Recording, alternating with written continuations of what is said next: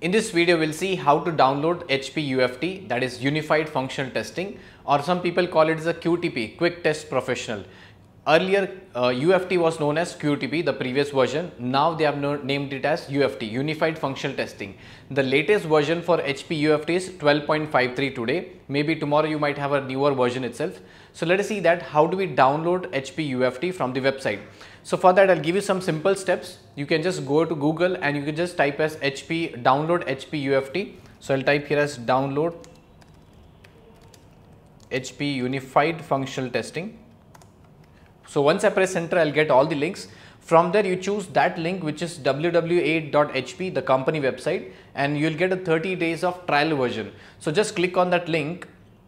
So once you click on that link, the HP web page opens and you'll get all the options to download multiple softwares. For example, here if you see here, a functional testing trials that says as unified functional testing trial. In previous version, it was known as QTP, quick test uh, professional.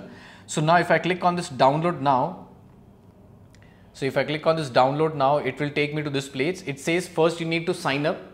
First you need to enter the details, your email ID, your phone number, your first name, last name and finally you'll get the option as sign up. So now I'll fill entire details one by one.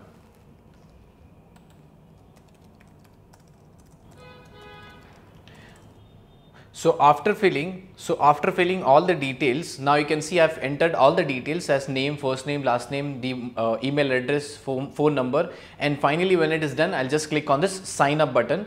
So once I click on a sign up button, it will send an email, uh, a link to my email ID. So from that, I need to verify that. So if you observe here, I'll be navigated to this page which says, do you want to save a pa password for this browser? Yeah check your email to complete the sign up process for UFT, check your this email ID and you might have got a link. So what I'll do is I'll open that email ID that's a, a training at tutorialspoint at gmail.com. So you can see here.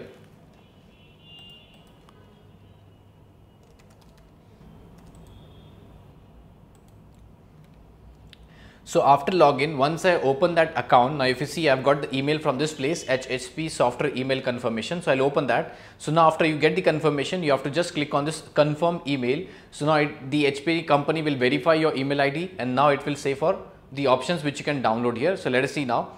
After that, you'll get this web page. Yeah. Now it says now uh, once it is signed up, you now you have to log into the page training uh, uh, at and I have the password here as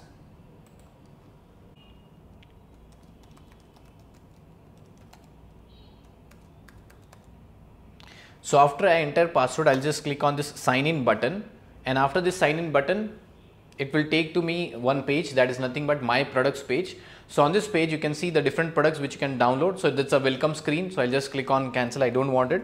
So I'll just click on this cancel, right? So now if you see, it says now it is the UFT version Unified Functional Testing, a product by HP company. It expires on October 14, which is given here. Next one month, today is September 14, October 14, it will get, uh, you know, expire. So again, I have to just click on this download button, right? So after I click on this download button,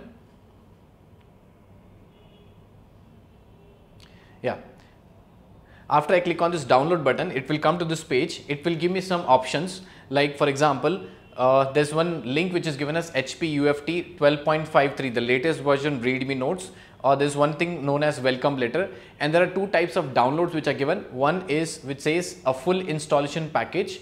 The full installation package will have the add-ins for ALM, you will have run results viewer and many softwares. But whereas you have something different as a compressed downloadable UFT installation package this will have less resources as compared to this one. So what you have to do is for the very first time if you are using it, you have to just click on this a full installation package and you have to click on that link.